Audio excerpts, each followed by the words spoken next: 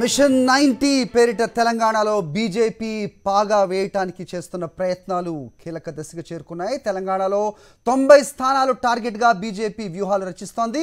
Machine ninety పేరుతో ప్రత్యేకంగా సమావేశాలు ఏర్పాటు చేస్తోంది. ఈ మేరకు తెలంగాణపై బిఎల్ సంతోష్ స్పెషల్ ఫోకస్ పెట్టారు. ఒక్కో నియోజకవర్గంలో ప్రభారీ కన్వీనర్ పాలక్ విస్తారక్ నియామకాలు చేపట్టారు. దానికి షామీర్పేట్ వేదిక అయింది.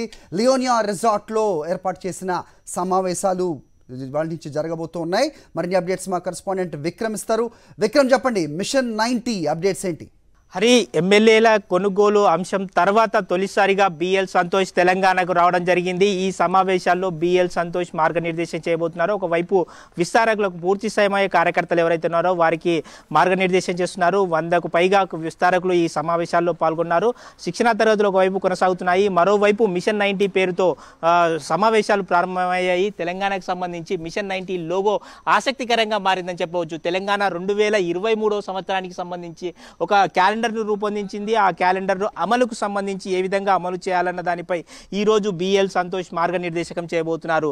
ఈరోజు అసెంబ్లీ కన్వీనర్లు విస్తారకులు పాలకులు ప్రభారీలు ఈ నలుగురిని నియమించడం జరిగింది. ఒక్కో నియో నియోజకవర్గానికి ఒక కన్వీనర్ ఉంటాడు ఒక పూర్తి సమయ కార్యకర్త విస్తారకు ఉంటాడు. అదేవిధంగా పాలక్ అని చెప్పి మాజీ ఎమ్మెల్యే కానీ మాజీ మంత్రి కానీ ఉంటారు. వీరు వీరు దిశానిర్దేశం చేస్తారు. కొన్ని సలహాలు ఇస్తారు. రాజకీయ ఎత్తుగడలు ఏ విధంగా వేయాలి అన్న దానిపై పాలకులు దిశానిర్దేశం చేస్తారు. అదేవిధంగా ప్రభారీలు ఇన్ఛార్జీలుగా ఉంటారు.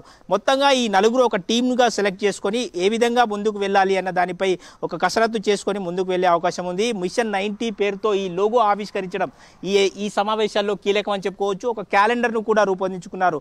వచ్చే ఎన్నికల ఏడాదికి సంబంధించి ఏ విధంగా ముందుకు వెళ్ళాలి అన్న దానిపై ఒక క్యాలెండర్ రూపొందించుకున్నారు. ఆ క్యాలెండర్ను ఈరోజు అమలుకు సంబంధించి ఏ విధంగా ముందుకు వెళ్ళాలి ఫిబ్రవరి మాసంలో ఏం చేయాలి జనవరి మాసంలో ఇప్పటికే ప్రతిరోజు మూడు నియోజకవర్గాలకు సంబంధించి సమీక్ష చేయాలని చెప్పి నిర్ణయించుకున్నారు. బస్సు యాత్రలు ఏ విధంగా ప్లాన్ చేసుకోవాలి అని చెప్పి కూడా దిశానిర్దేశం చేసుకున్నారు. ఈ నేపథ్యంలో మిషన్ నైన్టీకి సంబంధించి కార్యాచరణ ప్రణాళిక ఏ విధంగా ఉండాలి అన్న దానిపై ఒక క్యాలెండర్ను అమలుకు సంబంధించి ఈరోజు బిఎల్ సంతోష్ దిశానిర్దేశం చేయబోతున్నారు. ప్ర- ప్రస్తుతానికి పాలకుల సమావేశం ప్రారంభమైంది. ప్రతి నియోజకవర్గానికి ఒక పాలక్ అని చెప్పి ఒక మాజీ మంత్రి మాజీ ఎమ్మెల్యే మా పనిచేసిన వారి అనుభవజ్ఞులను అక్కడ పెట్టి ఆ వారి సూచనలు సలహాలు తీసుకునే విధంగా ఒక పాలక్ను పెట్టడం జరిగింది. వారికి సంబంధించి బిఎల్ సంతోష్ దిశానిర్దేశం చేయబోతున్నారు. ఇప్పటికే విస్తారకులకు సంబంధించి దక్షిణాది రాష్ట్రాలకు సంబంధించి పన్నెండు రాష్ట్రాలకు సంబంధించి శిక్షణా తరగతులు ఒకవైపు కొనసాగుతున్నాయి. సోషల్ మీడియా సమావేశాలు కొనసాగుతున్నాయి.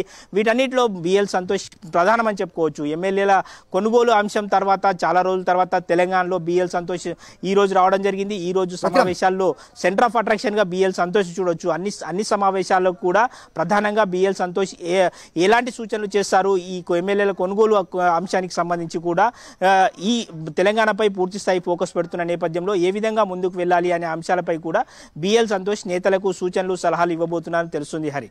రైట్. ఇక తెలంగాణలో బీజేపీ విషయానికి వస్తే ముఖ్యంగా తెలంగాణనే ఎంచుకుంటూ ఉన్నారు. తెలంగాణలో కీలకంగా కీలకమైన పాత్ర పోషించాలని బీజేపీ చేస్తున్న ప్రయత్నాలు. ఆపరేషన్ ఆకర్ష్ కూడా మనం చూసాం. సో ప్రస్తుతం మిషన్ నైంటీ అంటే కనుక కీలకమైన నేతలు రావాల్సిన అవసరం ఖచ్చితంగా ఉంటుంది. ఆ రకంగా కూడా దిశానిర్దేశం చేసే అవకాశం ఏదైనా ఉంటుందా? ప్రణాళికలో అది కూడా ఒక భాగమై ఉండొచ్చా అంటే ఏం చెప్తారు? ఖచ్చితంగా హరి ఆపరేషన్ ఆకర్ష్ కూడా ప్రధానంగా బీజేపీ ప్రధానంగా దృష్టి సారించినట్లు మనం చూసుకోవచ్చు. నిన్ననే జాయినింగ్స్ కమిటీకి సంబంధించిన సమావేశం ప్రారంభమైంది. జాయినింగ్స్ కమిటీ సమావేశం నిర్వహించారు. నలభై నియోజకవర్గాలు మొత్తం నూట ఇరవై నియోజక నూట పంతొమ్మిది నియోజకవర్గాల్లో మనం చూసుకుంటే నలభై నియోజకవర్గాల్లో చాలా బలహీనంగా ఉంది. పార్టీ బలమైన నేతలు అవసరం అని చెప్పి పార్టీ ఇప్పటికే గుర్తించడం జరిగింది. అక్కడ అరవై శాతం ఓట్లు అరవై వేల ఓట్లు కనీసం ఎవరైతే వ్యక్తిగతంగా ఓట్లు సంపాదిస్తారో వారు వారిని తీసుకొస్తే పార్టీ గెలుపులో గెలుపులకు సునాయసం అవుతుందని చెప్పి భావిస్తున్నారు.